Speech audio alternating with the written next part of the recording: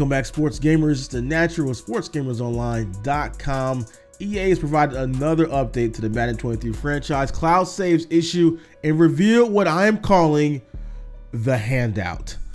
This recent update was supposed to be a positive thing and something good, saying that, hey, since only 2% of you guys were affected as they claimed, you're all gonna get your franchises back, which is not what happened. Like I said in the previous video, if you guys attended, I have five leagues and three of them were affected and none of them were recovered. And so we were hoping that we would get those back. But unfortunately, we're learning today that the teams involved did manage to restore a limited, a limited amount of franchise saves via backup. Unfortunately, those restored so far are the only ones that can be restored. Period. So if you go to unlock your, uh, check your franchise and it's not up, that's it. It's gone. It's toast. It is kaput. So this is not a rollout process where we're gonna see uh, leagues being restored over time. It's over. Th that is the quote unquote 2%. So I would love this here in the comment section below for you guys how many people were affected, how many actually got their franchises back. Because I don't know anyone that got their franchise saved. I don't know anyone. And I know for a fact from the timeline of events, when they told us things were good, you know, it's back up, things are working. Those franchises that listened to them and actually got on to access franchise mode are the ones that all got their franchises blew up. So that doesn't give much confidence. EA, they're now saying, hey, start a new franchise is good from here. I mean, I know many players who are scared of starting a new franchise online because it just might happen again. But EA came out with a statement saying to those who had this concern, um, the issue that occurred was a result of a highly unlikely set of combined circumstances leading to file server storage reaching max capacity, util un unutilized legacy code corrupting access leagues, while at the same time, process errors led to almost all available backups getting deleted in an attempt to correct the original problem. So, in other words, this was the perfect storm of fuck ups. So, first of all, not having enough storage. Uh, and I'm, I'm, someone who comes from the, uh, with an IT background. So, not having enough storage and then not having reliable backups. I mean, this that's like systems engineering. That's like 101. Like I know people that have gotten walked out the same day for a situation like this. And I hope someone, I hope some people did lose their jobs for this. I mean, this is a major loss of consumer confidence and data. Like cherished data that people put hours, days, weeks, months into that got lost and that it's just it's just terrible. Like I'm I'm, I'm happy that larger outlets finally picked this story up last week because it was quiet, and that just shows you the amount of power and influence that EA has. That they were probably scared to even run the story like how we were running it, you know, and and telling the truth to you guys directly because you know they have that outreach, they have that power, they have those influencers who are gonna always you know shed a positive light on everything and not give you guys the real truth. So so realizing there's no recovering lost time for players, EA revealed how it plans to make up for this shortcoming. First, they promised uh, its acceleration on work on a set of tools aimed at giving players more control over their franchises.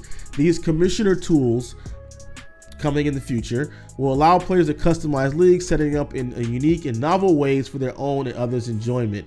Design work has already begun on a future set for future Madden titles. EA tends to share more details on the commissioner tool features and the timeline in coming months. So they're promising us features that we should have already, we've been asking for community, community commissioner tools. They've added some. They've added some features now that you can, you know, with commissioner tools over the past couple years. But this is not really a checkbox where you're gonna get kudos for doing something which should have been in the plans designs already. I mean, we've already been asking for a lot of these commissioner tools and uh, and customizations and more relocations and more uh, customizations of our teams and customizations of our uh, equipment and all the things that they have in MUT and other modes that we don't have in franchise mode. Like we've been already been asking for that. So promising to give us things we already wanted in the past is not really. I can't give you a thumbs up for that one. Moving on to the next one. All impacted franchise players will receive an invite to access to the Madden NFL 24 closed beta. the invite is good for registration to access the closed beta on PlayStation 5, Xbox Series X and S consoles only. Which, okay, I mean, I get access to the beta. I mean, as long as you pretty much play the game and when the link goes out, you know, click on the link and sign up. I mean, I've I, it's hard for me to say I've never not getting the beta. I've always shared it with uh, our SGO Inside uh, uh, um, contributors who always got to the beta. So I didn't know it was a hard thing to get in the beta. So I guess I guess a half check box for that one. Okay, for people who struggle to get in the beta every year, this will be good for them. Okay, sure.